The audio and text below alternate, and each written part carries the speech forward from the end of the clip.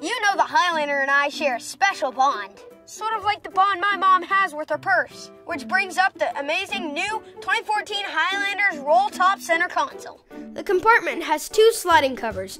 To open the larger side of the console, grasp the handle, push down slightly, and pull back. To open the smaller side, grasp the handle, push down slightly, and push forward. You have a much wider, deeper storage area.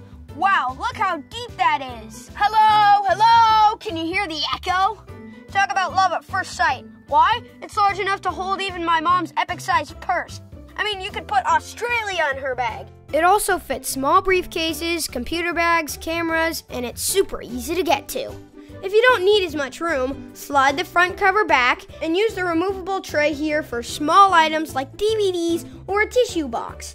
To close the roll top center console, you will pull the main cover forward and then pull the second cover up. You will hear them lock into place. Even when it's open, the console still has a place to rest your arm. And if you close it, you could even hide your homework in there.